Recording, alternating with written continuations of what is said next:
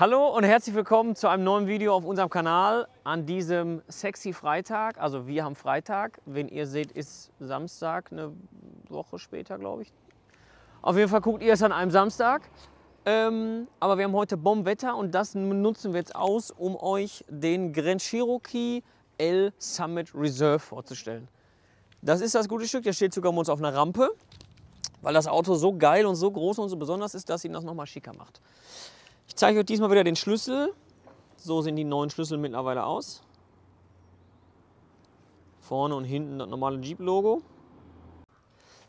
Das Auto kommt mit einem 3,6 Liter V6 ist gute 5 Meter lang, also ist echt ein Brecher, muss man sagen. Ist aber auch die L-Version, also der L ist noch mal länger als der normale Grand Cherokee.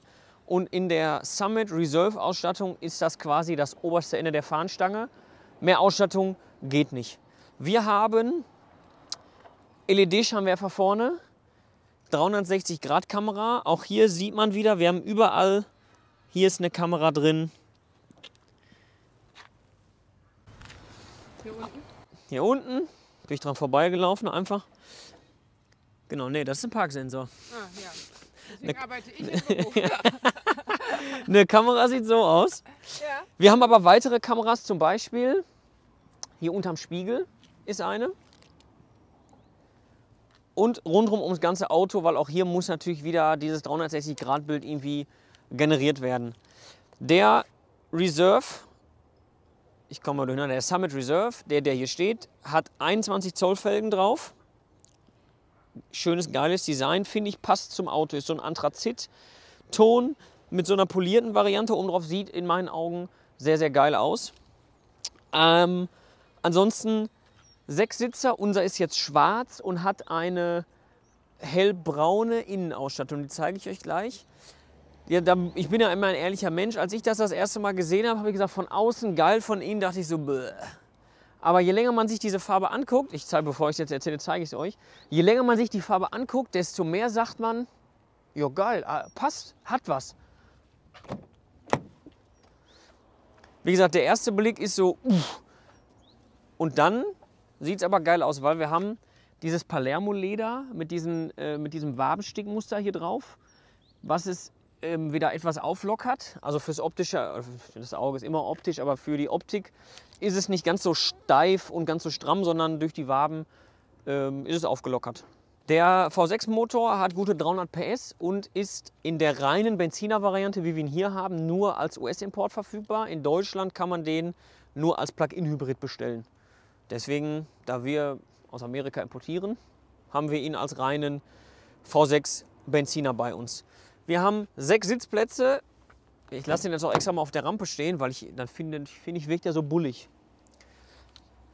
Wir haben hier Einzelsitze hinten, das heißt, es ist ähm, kein Siebensitzer, weil wir haben in der Mitte keine drei Sitzplätze, sondern wir haben zwei vorne, zwei einzelne Sitze in der Mitte, die mit so einem Easy Entry ausgestattet sind.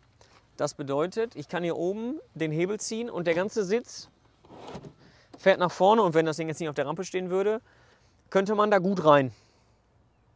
Beziehungsweise ich steige mal ein. Dann bin ja ein junger, agiler Mensch. Ui. Ich setze mich mal auf die andere Seite, dann ist ein bisschen mehr Platz zum Filmen. Also wenn ich hinten drin sitze, ne, lass dir mal ruhig stehen, wenn jetzt die Kopfschützen noch oben sind. So ist mein Platzangebot hinten. 1,80 Größe bei mir. Ich komme schon an den Sitz dran, aber der ist jetzt auch ganz hinten. Man kann diese Sitze auch noch mal vor und zurück verstellen. Wir können hinten die Rückbank komplett elektrisch einklappen. Das geht über die Knöpfe im Kofferraum. Wir haben hier hinten kein Isofix. Wir haben ähm, vorne Isofix auf den beiden mittleren Sitzen. Die beiden mittleren Sitze sind halt auch, also es sind halt keine mittleren Sitze mehr. Die Zeiten sind vorbei, wo das halt nur popelige Sitze waren. Wir haben hier Sitzheizung Sitzkühlung, wir haben eine komplette Klimatisierung separat für hinten. Wir haben hinten dieses Gerät hier, kann man das vernünftig sehen. Hier ist eine Kamera, das ist eine sogenannte Family Cam. Das zeige ich euch vorne im Display gleich. Ihr kennt das aus den Minivans zum Beispiel, aus den Pacificas oder Grand Caravans. Die haben vorne diesen Spiegel, womit man äh, zusätzlich zum normalen Rückspiegel den ganzen Fahrgastraum im Auge behalten kann. Jetzt leben wir in 2023 und die haben ein bisschen aufgeholt. Das Ganze geht jetzt voll digital und ich kann vorne am Display auswählen, ob ich entweder eine Gesamtübersicht haben will über den Innenraum oder ich kann jeden Sitz einzeln anwählen, der mir dann gezeigt wird, wo ich mir den genauer angucken kann. Sehr genial. Großes, ähm, jetzt wollte ich zwei Sachen gleichzeitig machen. Wir haben einen schönen Himmel, Velour und ein großes Panoramadach. Aber jetzt gehe ich mal wieder nach vorne, damit wir das Ding mal von vorne sehen können. Großes Panoramadach, selbstverständlich voll elektrisch. Dann schmeißen wir uns mal rein. Claudia geht mal rum eben und dann zeige ich euch mal denen, denen, ganz Deutsch, den Innenraum.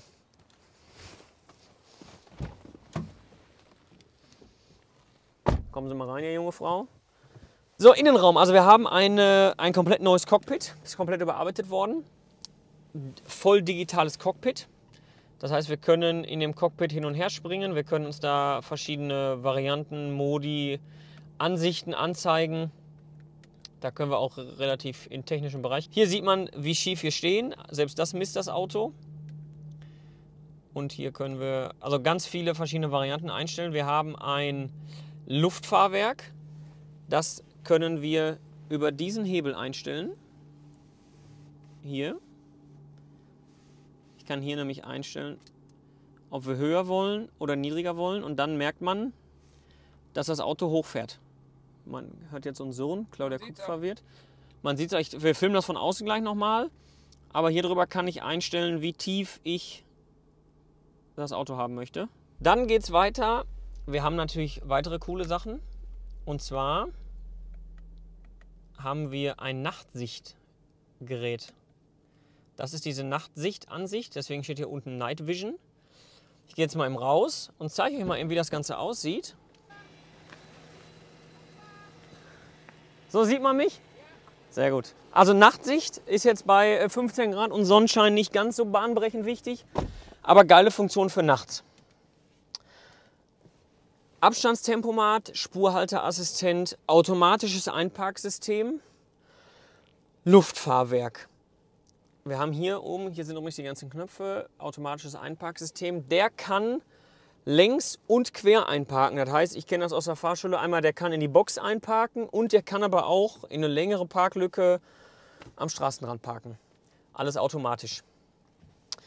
Das Lenkrad ist multifunktional natürlich und diverse Einstellungsmöglichkeiten. Hier ist zum Beispiel ein Button, da können wir unsere Ansicht nochmal ändern. Also wir haben diverse Möglichkeiten im Menü rumzuspielen, was wir uns als Ansicht auswählen möchten.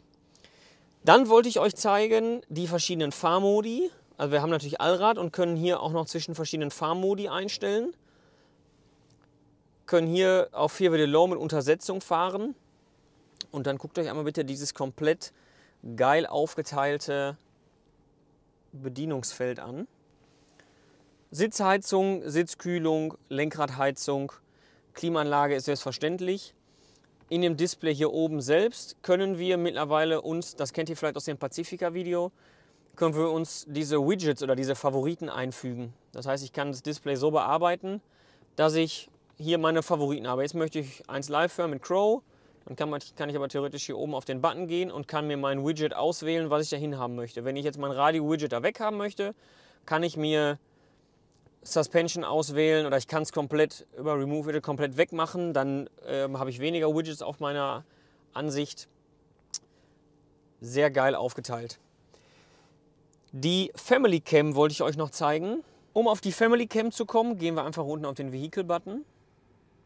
Und dann können wir verschiedene Varianten auswählen. Wir können zum Beispiel auch hinten die dritte, in der dritten Sitzreihe die Kopfstützen von hier aus einklappen, weil man kann jetzt sehen, das ist schön und gut, aber wenn ich in den Rückspiegel gucke, kann das manchmal etwas die Sicht behindern. Und wenn ich auf den Knopf drücke, klappen die einfach um. Sehr geil. Surround Cam können wir einstellen, das ist die 360-Grad-Kamera.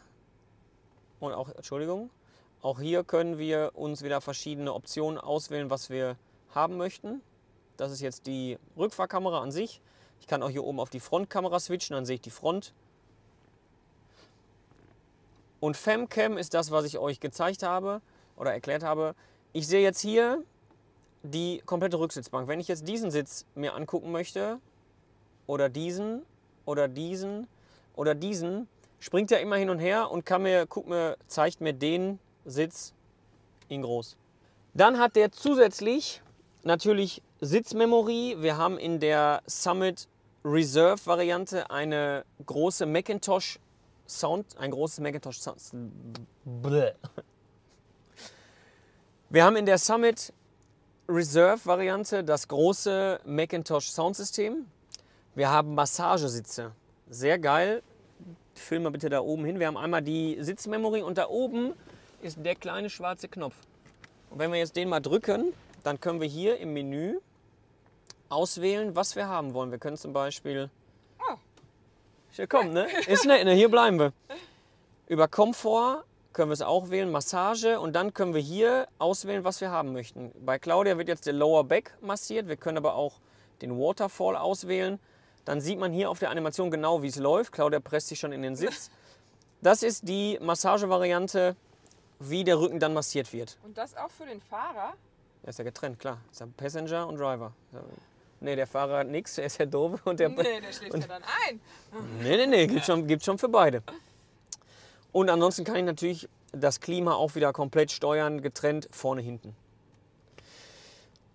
Das war so die grobe Übersicht zum Grand Cherokee L Summit Reserve. Bei uns aktuell verfügbar. Stauraum habe ich noch vergessen. En masse. Also wir haben überall irgendwelche kleinen Verstecke, irgendwelche Laderäume. Wir haben überall Platz, bis der Arzt kommt. Ja. Hast du noch was? Fällt, dir- fällt dir was ein? Nö, aber lass doch ein Abo da. Lasst doch ein Abo und ein Like da, genau. So, jetzt habt ihr euch im Hintergrund die Farbe angeguckt und ich, ihr könnt ja mal gerne in die Kommentare schreiben, wie ihr die Farbe zu Beginn des Videos fandet und zum Ende hin. Und ich muss jetzt sagen, solange wir jetzt hier drin sitzen, finde ich sie grandios. Also ich, ähm, es gefällt mir immer besser, es ist nicht zu viel, weil wir haben einen schwarzen Dachhimmel, wir haben ein schwarzes Armaturenbrett, wir haben hier halt Holzapplikationen drin. Aber das Leder an sich finde ich in der Farbe schön und es passt zum Auto. Muss ich auch sagen, ja. In diesem Sinne. Klingt jetzt so nachgeplappert. Aber nein. Ähm, Nein, das gefällt mir wirklich. Ich ja. äh, muss auch sagen, auf den ersten Blick nein, aber es kommt. ja. In diesem Sinne, danke fürs Zuschauen. Lasst, wie schon empfohlen wurde, ein Like und ein Abo da. Bleibt dran. Die nächsten geilen Autos kommen noch und die Videos dazu folgen noch. Macht's gut. Bis zum nächsten Mal. Danke fürs Schauen. Ciao.